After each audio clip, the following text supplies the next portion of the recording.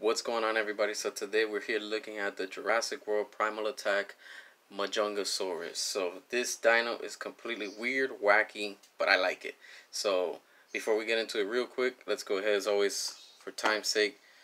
Got them out of the box. That's, that's what you get in front of the box.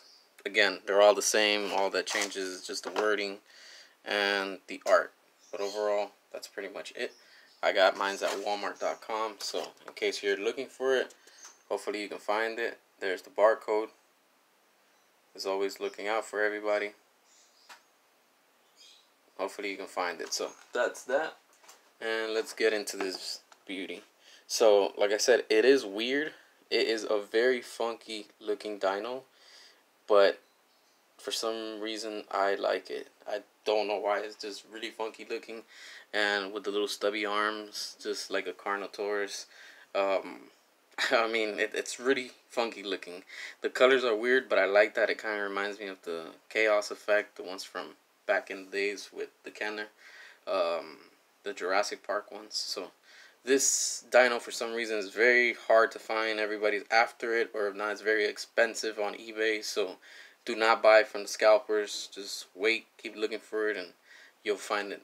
Because I was going to pay a ridiculous price, and I'm glad I didn't and I actually went on Walmart.com and it just appeared. So just keep looking and be patient. So there you go. And like the other sound strikes, you just hit the tail.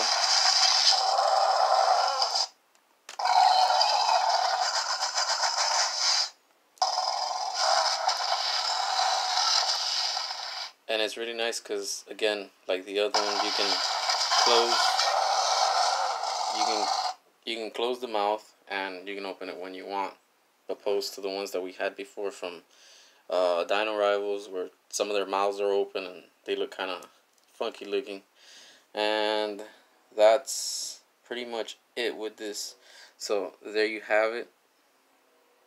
It has those spikes quills whatever you want to call it that are hanging from it. The same with the tail and the back legs so not sure that dino's supposed to look like that. Again, none of us were around 65 million years ago, so none of us can be accurate and say, yes, that's what it was. So, yeah, I just wanted to say that. But there we have it. You see, it's weird. The colors, but for some odd reason, they're nice. As somebody said not long ago, on a post I saw, it's like the Brazilian colors from their flag. So, um, but this is very nice.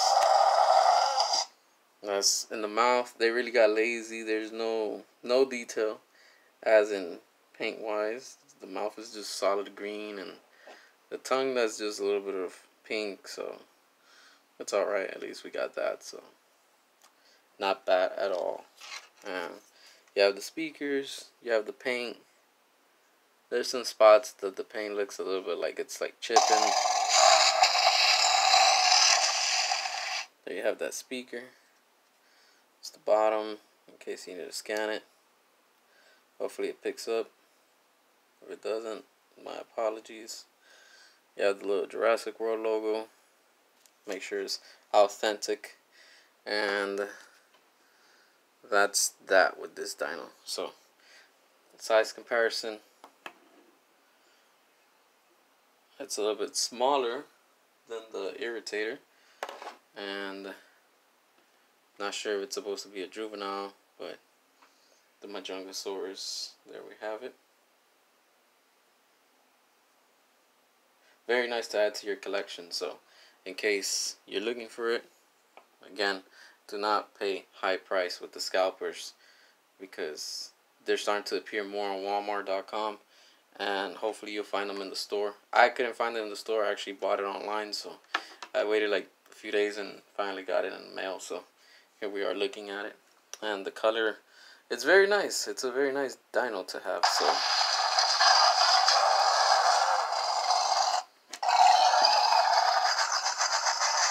Well worth the 15 bucks plus tax and shipping and all that stuff. You're looking at about like 22 and some change. So can't beat that. I know some people online have been jacking up the price for double or triple. Do not pay that. It's not worth it, trust me. But just be patient, keep looking around. But this is what we have, and I hope you guys liked it. Hit that like, subscribe, all that good stuff. So keep posted until the next video. And as always, till next time.